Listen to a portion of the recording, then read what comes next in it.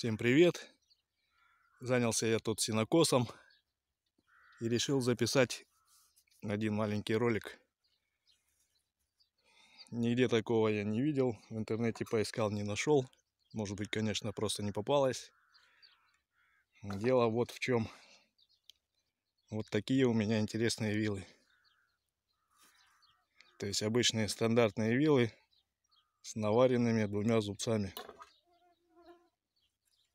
Очень хорошо ими работать по соломе, по сену. Берется больше, кидается дальше. Пока летит, отдыхаешь. Можно, конечно, и навозами покидать. Но тяжелый и улеженный навоз ими, конечно, не покидаешь.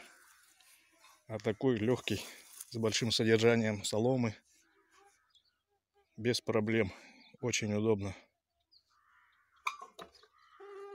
У кроликов ими чищу. Маленький даже уже забыл, где у меня.